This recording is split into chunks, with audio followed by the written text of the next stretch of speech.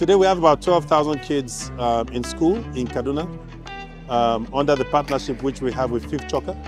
And it's something that makes us extremely proud because we see ourselves as that um, institution that is basically ensuring that we take children off the streets, particularly in northwestern and northeastern Nigeria, and give them good education which they truly deserve. What we did today is also remarkable. For the first time, we got to 100 million, 100 classrooms rather, which will take out 10,000 children, 10,000 new children. Um, this school should take about 12 to 18 months to build. So what that means is that under the Access Bank, uh, Fifth Chukker, UNICEF partnership, we will be able to start having about 22,000 children in school.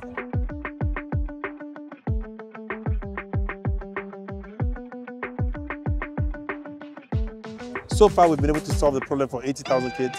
Um, it makes us extremely proud. We're extremely happy with what we're doing uh, with Fifth Chukker, and we think that several other institutions should emulate, um, you know, what, what, we're, what we're doing right now. Uh, so I think it's been a great progress for us um, under the arrangements which we currently have.